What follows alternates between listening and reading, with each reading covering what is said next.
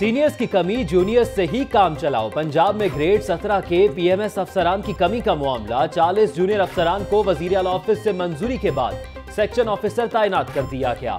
अफसरान की तकररी का नोटिफिकेशन जारी। वॉइस ऑफ़ पंजाब की तलाश, नौजवान हो जाए तैयार। वज़ीर सकाफत का 16 फरवरी से मुल्तान से ऑडिशंस कराने का ऐलान।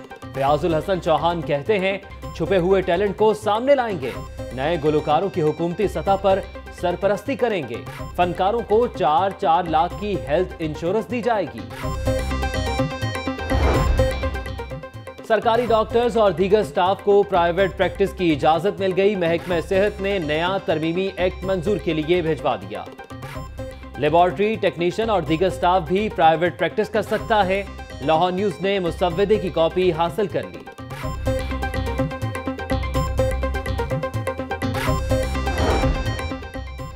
हमने पहली बार कोशिश की और स्मोक को काबू रखने में कामयाब रहे। करोड़ों की मशीनरी साबका दौर में मंगवाई गई, मगर वो काम ना कर रही थी।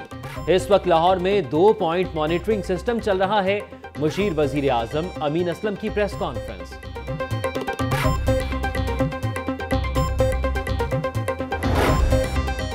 करप्ट अनासर से चार अरब रुपए से जायद की रिकवरी की गई। दो अरब बाईस करोड़ फिरोजपुर सोसाइटी स्कैंडल में वापस लिए।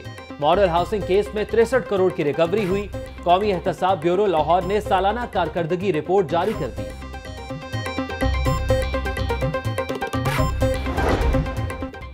पाकिस्तान रेलवे पुलिस की कार्रवाई दौरान सफ़र अगवा होने वाली खातून और उसकी बेटियों को बाजियाब करवा लिया। एसपी रेलवे मलिक अतीत की प्रेस कॉन्फ्रेंस बताया कि मुलजिम को मोबाइल फ़ोन से ट्रेस किया गया। मगवियों को बहावलपुर से बाजियाब करवाया। नसीराबाद नून लीग दफ्तर में एमएसएफ के योम तासीस की तकरीब। लीगी रहनुमाओं ने केक काटा। मुल्की सलामती के लिए खसूसी दुआ। परवेज मलिक बोले, पार्टी छोड़कर कोई नहीं जा रहा, मुश्किल वक्त है, गुजर जाएगा। नवाज़ शरीफ की सजा नाइंसाफी पर मबनी है। नू लीग, लायर्स विंग ने नवाज़ शरीफ की सालगिरह का केक काटा।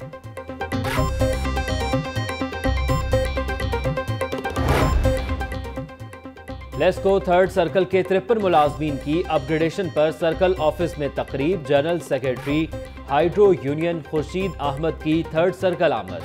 हाइड्रो यूनियन के नुमाइंदों और मुलाजमीन ने पुरतपाक इस्तकबाल किया। टैक्स से बचने के लिए सेल्स के आजादोशुमार में हेर फेर Jalal sons departmental store FPR के जाल में आ गया। एक ही दिन में जलाल सन्स की दो ब्रांचों पर छापा। डिफेंस फ़ेज़ पाँच और गुलबर्ग ब्रांच का तमाम रिकॉर्ड कब्जे में ले लिया गया। एफबीआर हुक्काम का कहना है, जलाल सन्स 11 ब्रांचों का 4 लाख रुपए सेल्स टैक्स अदा कर रहा था। सिर्फ़ गुलबर्ग ब्रांच की गुजश्ता रोज की सेल 70 लाख रुपए हुई एफबीआर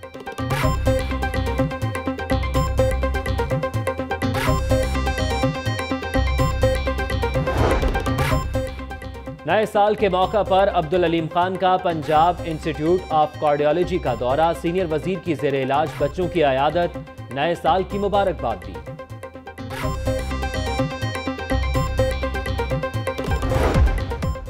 और स्पोर्ट्स बोर्ड पंजाब ने सुबह भर में ट्रेनिंग कैंप्स का ऐलान कर दिया। लाहौर समेत सात शहरों में कैंप्स लगाए जाएँगे।